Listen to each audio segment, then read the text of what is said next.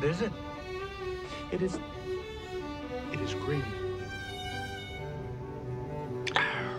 Terrible. It has no bite. Hmm. What do you think? It's vile. God, man. Are you trying to go blind?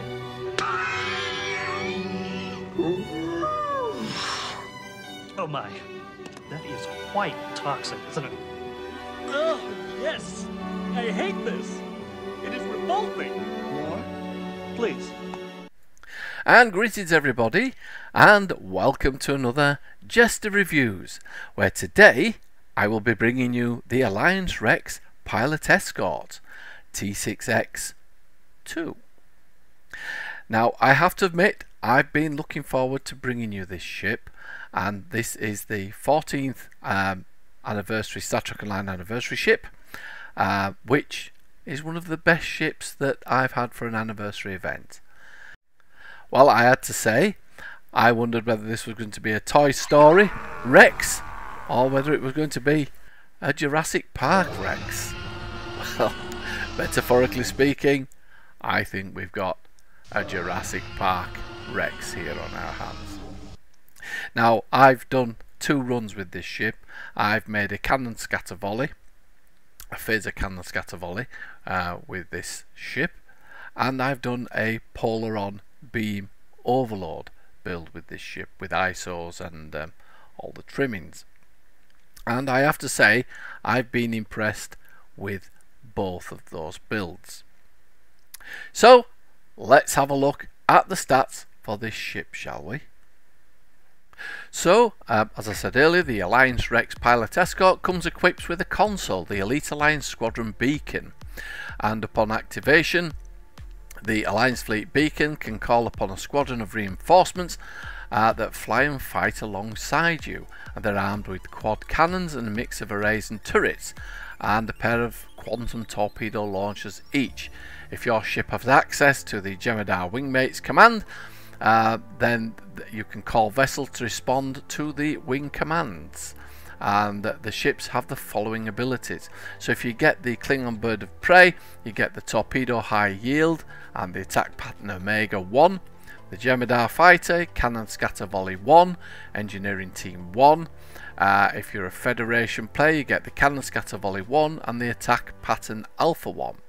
And the Romulan version, you get the Cannon Rapid Fire 1 and the Attack Pattern Beta. And this console also provides a passive boost to critical severity and flight speed. So there you go. Now it also comes uh, with an experimental weapon slot and it's equipped with an inertial Polaron shunt. Um, the inertial Polaron shunt gathers excess energy from the impulse engines and uses it to accelerate Polarons to extreme velocities, directing them towards an, an uh, enemy ships. And this deals considerable Polaron damage, but can happen a great deal more often if the ship is at higher speed. And I can actually uh, attest to that. So after achieving level 5 in this ship Starship Mastery, you'll unlock the Mastery Inertial Supremacy Starship trait. Uh, while this trait is slotted during beams, fire at will, cannon scatter volley or torpedo spread, weapons fire applies a debuff to foes. Uh, damage resistance rating, the strength of the debuff depends on the current speed of your vessel. So the faster you go, the bigger debuff and the better buff damage. So this ship comes with a hull modifier of 1.1 and a shield modifier of 1.2. It has 5 forward weapons and 2 aft weapons. It has 3 device slots and bridge officer stations are as follows. A Commander Tactical, a Lieutenant Tactical Stroke Miracle Worker, a Lieutenant Commander Engineering Stroke Pilot, uh, Ensign Science and Lieutenant Commander Universal. Uh, the consoles you have 5 tactical, 2 engineering and 4 science. Um, base turn rate of 16, impulse modifier of 21 and an inertia rating of 60. You get a massive plus 15 weapons power and a plus 5 shields power and you can load dual cannons. The console is the Universal Elite Alliance Squadron beacon and this ship comes with a cloak. It's not a battle cloak mind but never mind. Uh, it also comes with Alliance wingmates, pilot maneuvers, experimental weapon slot equipped with the inertial Polaron shunt and Starship Mastery package. Uh, you get precise weapon systems accuracy, tactical maneuvers, enhanced weapon systems, devastating weaponry, and inertial supremacy. That's the Starship trait. So uh, just looking at the practice weapon systems, you get plus accuracy, tactical maneuvers, get plus defense, enhanced weapon systems, plus all all damage, and devastating weaponry plus plus plus critical damage. So here is uh, my build. Now I'm not going to go too heavily into this build and if there is anything that you want to know uh, about it just drop me a line below and um, yeah I'll let you know um, what I've put together. So as you can see I've put in four uh, dual beam banks at the front which are Polaron based uh, along with the morphogenic Polaron energy torpedo which is part of three-piece set um, and that comes with the morphogenic Polaron energy weapon and the tactical morphogenic matrix controller. So this set gives me let's have a quick look. Uh, so we're getting 17.8 weapon damage 23.8% Polaron damage 35.6 Starship Drain expertise, minus 10% weapon power cost. So the two piece set is 15% recharge time reduction to fire at will, beam overloads, uh, scatter volley, rapid fire, torpedo spread, torpedo high yield, uh, mine pattern alpha, and mine pattern beta. Um, set 3 Whenever you activate one of the following abilities, you gain a unique buff that lasts for 45 seconds and can stack up to three times. So fire at will or beam overload, you get a plus 2% critical chance, maximum 6%. Uh, a scatter volley, rapid fire, you get a plus 10% critical severity, maximum 30%. Oh, quite like look at that. I think we'll do more cannon scatter volleying. Uh, torpedo spread, torpedo high yield, mine pattern alpha and mine pattern beta, 7.5% weapon damage, maximum 22.5%. So um, that's that set. So I've also equipped this with uh, four advanced engineering isomatic plasma distribution manifolds and that wasn't easy to say. Uh, that's a right mouthful, wasn't it? And that's given me a 39.4% Polaron damage, uh, plus 7.3 weapon power, and a plus 7.3 stacking maximum weapon power. Now I've also uh, stuck on here two tactical energetic protomatter matrix infusers.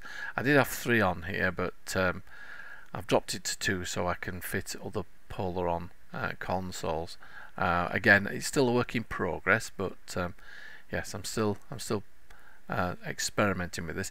Uh, so these uh, tactical energetic protomatter matrix infusers, I get a plus 37.5 Polaron damage and a plus 6.2% projectile weapon damage. Now it's interesting. I'm, I was toying with putting five of these on. I only have three to be honest with you. Um, but yes I may stretch to five down here at some point in time and um, yeah see how they perform.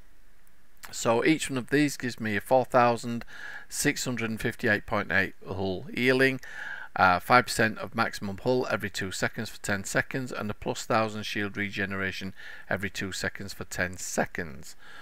So um, yeah I quite yeah quite like the sound of having uh, five of them on the bottom there but um, anyhow um, moving on to the console itself, which is the Universal uh, Elite Alliance Squadron Beacon. So uh, here, as I mentioned earlier on, you can call upon uh, the Federation Escort, Romulan Warbird, Klingon Bird of Prey, or the Gemini Fighter for 45 seconds, and it has a 2 minutes recharge time.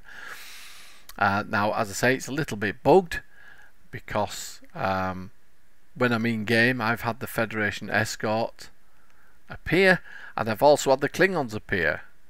Yes, so uh, until they get that fixed, um, hmm, yes, it's a bit of a pick and mix, I'm afraid. Um, but I, I, I, actually do like the um, Alliance Rex pilot escorts. To be honest with you, I think I think they're really cool. So, moving on to the experimental weapons, we have the inertial Polaron shunt, and this gives Polaron damage, which increases uh, the faster you go, basically. It has a 250 targeting arc and it gives you 11,978.3 Polaron damage. 81.34% haste to this weapon increases with flight speed up to 200% at 180. You also get a plus 30 critical severity and during ambush after cloak to target minus 10 all damage resistance for 15 seconds plus 4 critical chance 4 second recharge. I quite like this um, weapon and yes I've had some friends who've told me that they've had some serious DPS results with this. Yes personally I'm not into uh, DPS but if that's your that's your bag then yeah you can achieve some serious numbers with this I've been told. Um, I'm not personally into DPS builds as such. Um, I I just play the game for the effects and uh, the enjoyment of the game. So, uh, but the effects of this are quite cool. I quite like the effects of this, uh, the the inertial Polaron shunt. Okay, let's have a look at um, some vanity shields, shall we? Um, so if you get bored of this particular design, um, let's see what we can do with it. Because there's not much you can actually do um, in the ship's tailor. Um, there is something about the bridges I would like to uh, bring to your attention because it's new and I've only just spotted it, but uh, we'll talk about that just in a little while. Uh, so let's have a look at some of the vanity shields, shall we? So this is the Counter Command Vanity Shield, and this is the Delta Alliance Vanity Shield, and this is the Discovery Vanity Shield. I can't say I'm I'm a fan of this one, to be honest with you. This is the Fek'Ihri Vanity Shield. Yes, looks like it's uh, rusting, doesn't it? Yeah. Yeah, I'm not fond of that one either. This is the Omega Force Vanity Shield. And there we have the Terran Task Force Vanity Shield. Can't say I'm fond of that one to be honest with you. Temporal Defense Initiative Vanity Shield.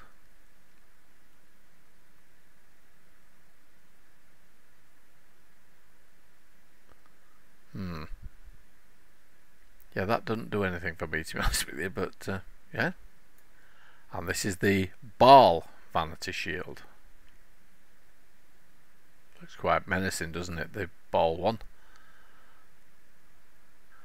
Um, I'm not so sure about I mean, I do like the ball Vanity Shield, but um, the ball Vanity Shield rather, but I'm not sure it actually suits this ship. And this is the Gamma Vanity Shield.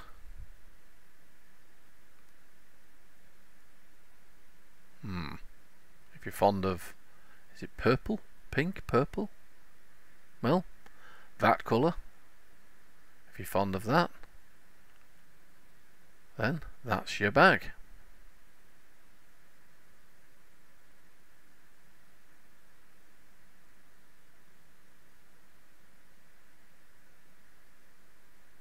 Hmm. Not quite sure about that one either. And this is the Section 31 Vanity Shield. This is the Romulan Advanced Covariant Shield.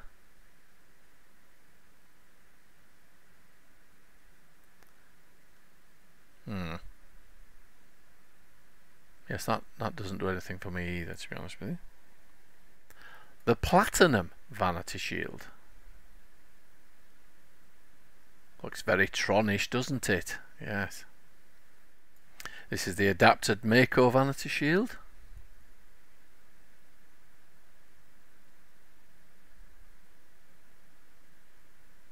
Hmm, can't say I'm keen on that one either.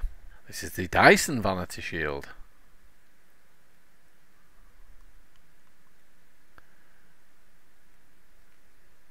Yes, call me Mr. Fussy, but I don't seem to be uh,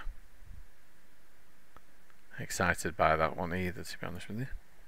And finally, we have the assimilated Vanity Shield.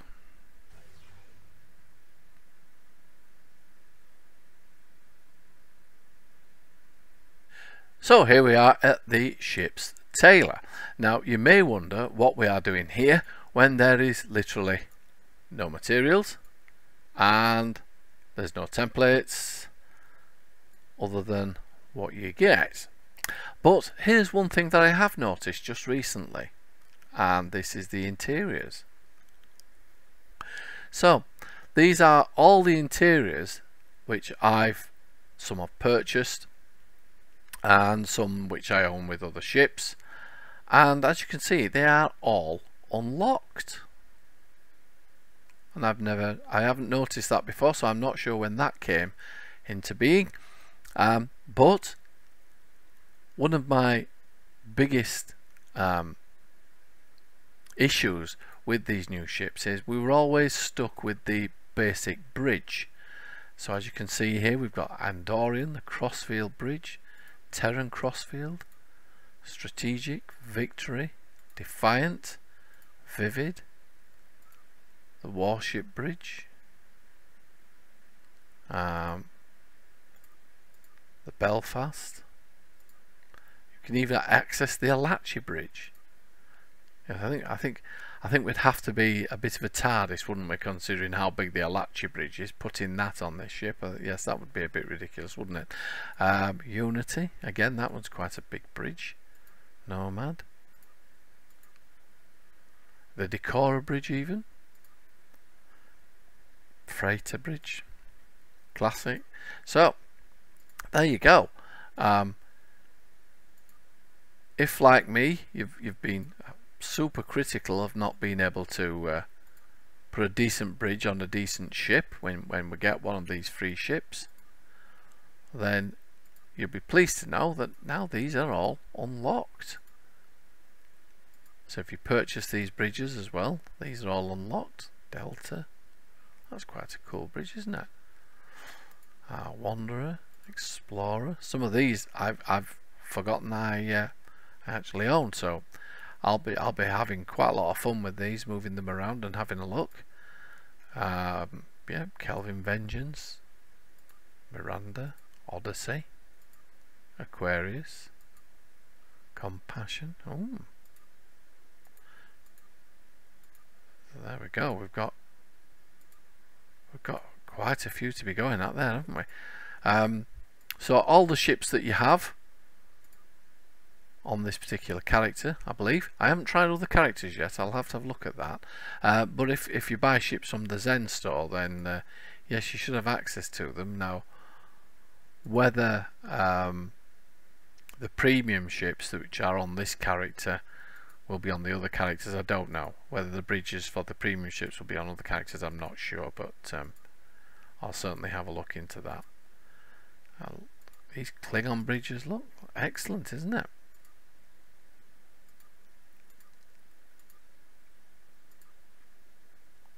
So we've got you've got a fair old bit to be going at here. Um, if you get tired of the same old bridge. And as I said, I, in the past I have been very critical um, of Star Trek Online not providing bridges because yeah, that that's the one we normally get, and I absolutely loathe that bridge. I, I really do. It's it's horrible. Um, don't like it at all. Erosion, Herc Bridge. I'll be bringing you that ship shortly. Um, I'm not sure it's going to be a popular one for you guys because it's not really a popular ship, but uh, yeah, I will be bringing you that shortly. Um, Yeah, for some reason it hasn't unlocked the Kabbalah bridge. Not quite sure about why it hasn't done that. Yeah, the Krenim bridge, and I'll be bringing you that ship soon. I've picked that one up. Kari. So, I think, going through all of that, I think you've got a rough idea, really, of um, what you can do with this uh, with this ship. I personally like. Ooh, let's have a look for this one. Um, got a bit of a Polaron look to it, doesn't it? Yeah, I think that's why I picked it before. So we'll, we will go with that one. Yes, so there you go. Uh, you may not be able to choose any material or template for this ship, but you certainly can unlock some bridges and you can put some vanity shields on it uh, to spruce things up a little bit for you.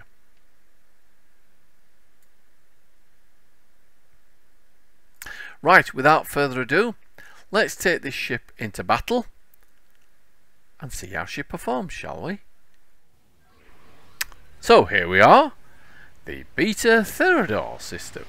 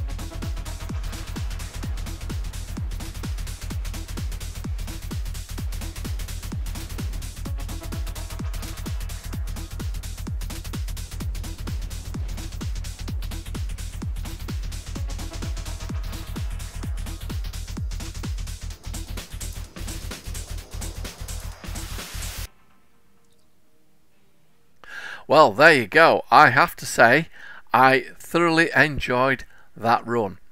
And uh, yes, I did uh, the uh, Japori challenge with this ship. I've done quite a few runs, and the best time that I could pull on this ship was 2 minutes 13.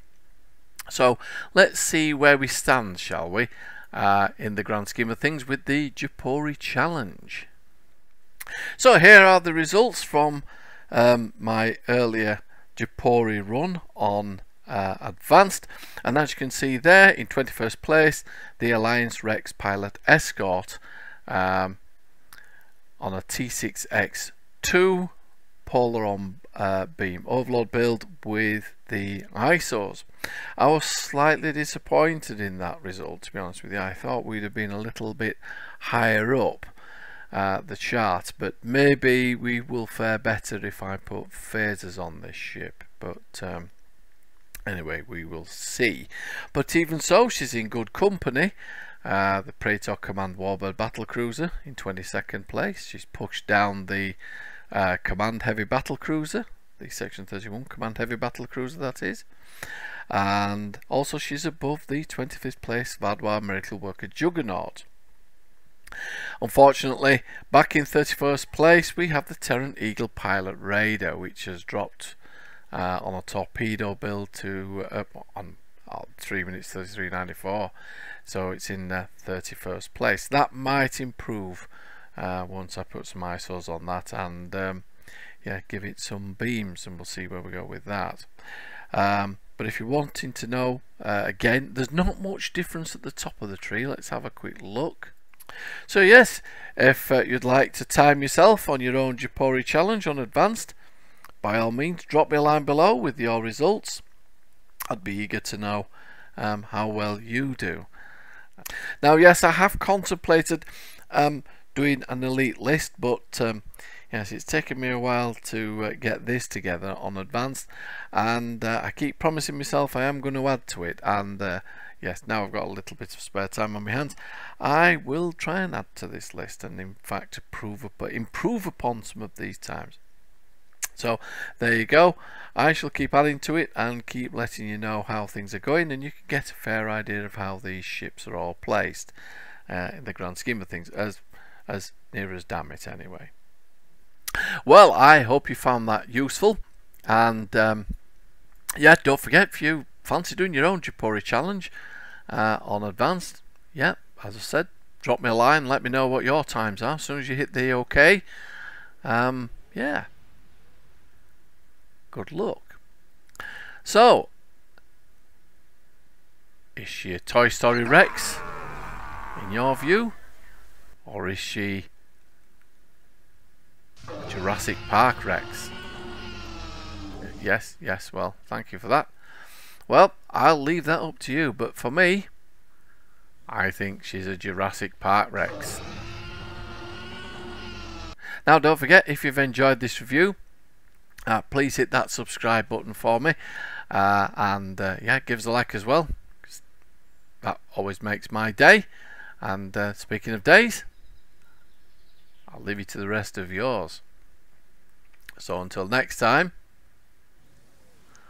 this is Jester signing off.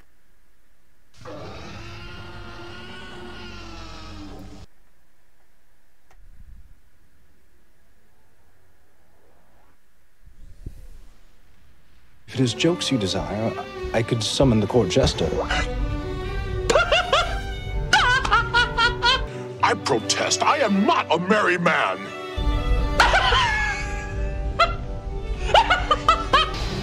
My God, Picard, the place is a bloody death trap. Lightning bolts falling from the ceiling. Please, Spock, do me a favor. And don't say it's fascinating. No. But it is interesting. Data. That was not funny. Hold the jester!